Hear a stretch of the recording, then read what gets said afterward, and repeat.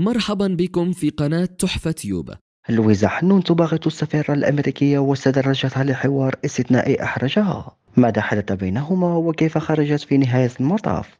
بداية لويزا حنون تقوم بخارجة غير متوقعة كليا تصنع الحدث حاليا بما فعلته بالسفيرة الأمريكية في الجزائر إليزابيث موروبين ما تم وصفه بالاستدراج ثم وجدت هذه السفيرة نفسها أمام موضوع جد هام وحساس ومجبر على الاستماع وتلقي الانتقاد ولإيصال الرسالة إلى رئيسها بايدن حيث أن لويزا حنون كانت في الأساس اجتماعها مع السفيرة الأمريكية إليزابيث موروبين مخصصة تحديدا حول الانتخابات الرئاسية المقبلة التي ستجري في نهاية السنة الجارية. لكن لويزا حنون وفور بدء اجتماعها حولت غالبية مدة اللقاء إلى الدفاع عن القضية والقطاع وانتقدت حتى الموقف الأمريكي وعرضت الموقف الأصح واللازم اتخاذه للخروج بحل نهائي ودائم مشددة على ضرورة ترك التماطل الذي قد يجر العالم لكارثة كبرى. وأبدت لويزا حنون استغرابها من موقف أمريكا وفاجأت السفيرة بتوجيه لها انتقادات. كما استغربت الحنون أمام السفيرة الأمريكية. كيف لأمريكا أن تحاول تغطية الشمس بالغربال؟ فهذا لوضوح حسبها كل شيء وما يحدث تحت مرأى العالم. كما شرحت للسفيرة التي بدت محرجة جدا من تحول ملف الاجتماع أن حقيقة ما يحدث وكيف يتعرض القطاع بكل الأدلة لفضائه لا يمكن تخيلها واستغربت أمامها كيف لأي إنسان أن يقبل ما يحدث هناك حاليا. ثم زادت لويزا حنون من حدة انتقادها أمام السفيرة الأمريكية موروبين بالقول لها أن الحكومة الأمريكية ورئيس بايدن يتحملون المسؤولية الكبيرة لكل الأفعال التي تنفذ في القطاع بنظر حسب لويزا حنون أن أمريكا هي الداعم الأول ومن مددت عمر الأزمة. باستعمالها للفيتو وإفشال كل محاولات الإيقاف بجانب دعمها لاستمرار الأحداث وعدم وقفها.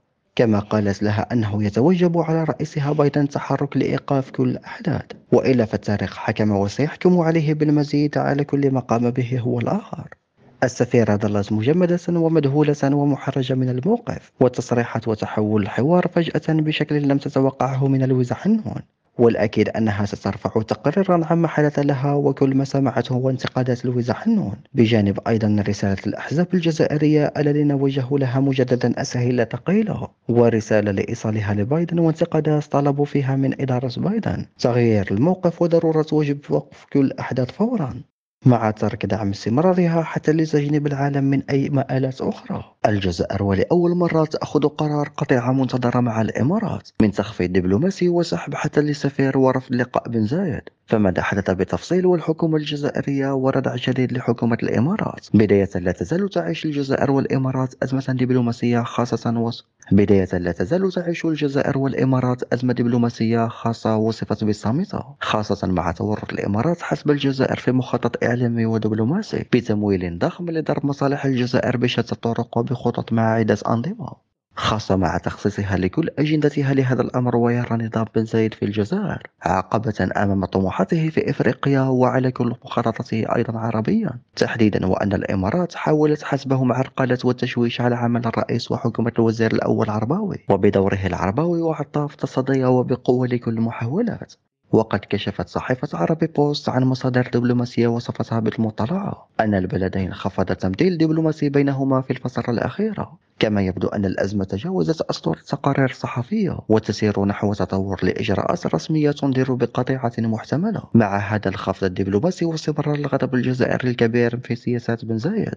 مراقب وذات الصحف أكدوا أن الجزائر قد تكون السباقة قريبا لسحب سفيرها من الإمارات والتصعيد لأقصى درجة بما أن الإمارات حسبهم استنفذت كل الفرص ولم تأخذ العبرة ولم تتراجع. عن مخططاتها ضد الجزائر ناهيك عن كون الجزائر لم تعد حسب ذات الصحف تعير للإمارات ولا للاستثمارات معها أي اهتمام لأنه لا شيء يسبق المصلحة الوطنية وأي آراء معادية يتم الرد بقوة وردعة عليها خاصة وأن الإمارات حسب صحف مسؤولين جزائريين وزنين تقوم بمحاولة قلب دول عدة على الجزائر ليشعروا الوضع معها ويشوشوا على الرئيس.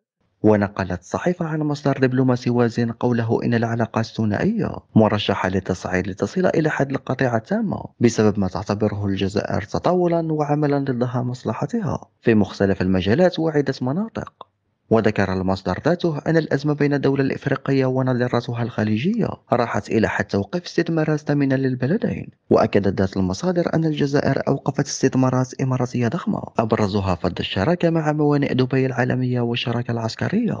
إلى جانب فض الشراكة في مصانع التبغ والتي لها أهمية كبيرة لدى الإماراتيين. وقدرت الاستثمارات الإماراتية بمليارات الدولارات في عهد الرئيس الراحل عبد العزيز بوتفليقة في ظل العلاقات التي كانت مميزة بين قادة البلدين آنذاك كما تتباين مصالح البلدين فيما يتعلق بملف الساحل حاليا الذي تعتبره الجزائر استراتيجيا لها وتعمل الإمارات على تقويض الدور الجزائري وتمويل سياسات معادية لمصالح الجزائر. بما أن الجزائر ضد أي مس لسيادة الدول الإفريقية وضد العبث وإشعال المنطقة من أي طرف كان كما تفعل الإمارات حاليا حسب الصحيفة. كما تأخذ الجزائر على عاتقها منع إشعال المنطقة أو جر دول الجوار نحو سيناريوهات قامت بها أطراف أجنبية مثلا سابقا كما فعلوا في ليبيا ودول إفريقية أخرى. هرم طالع ممر يفاجئ الجميع من الجامعة العربية ويخلط حسابات الإمارات. وقرار الوزير الأول العرباوي يغضب بن زايد والرد غريب جدا. بداية وزير الخارجية السابق رمطان العمامرة يصنع الحدث. بتحركاته الجديدة والتي أربكت الإمارات وفق مراقبين. بالتزامن أيضا مع تحرك رفيع المستوى من الوزير الأول نادر العرباوي. الذي قام بإجراءات غير متوقعة وأربكت بن زايد. فالعمامرة يقول خبراء أنه عزل وأنهى بشكل مبدئي. الدور الإماراتي في السودان والآن قفز للجامعة العربية لقطع الطريق على كل تشويشات التي قالوا.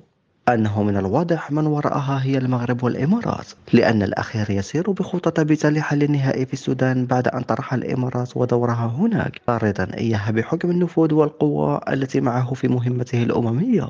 بتفويض مباشر من أنطونيو غوتيريش الأمين العام للأمم المتحدة مع أيضا الدعم الجزائري المطلق له حتى من حكومة الوزير الأول نادر العرباوي. وقد هاج الإعلام التابع للإمارات والمغرب بعد أن استقبل الأمين العام لجميع الدول العربية أحمد أبو الخيط رمضان العمامرة مبعوث في أول لقاء بعد منصبه في الأمم المتحدة وفتح مباشرة القضية السودانية وسبل توصل لحل وكسر كل محاولات إطالة الأزمة هناك.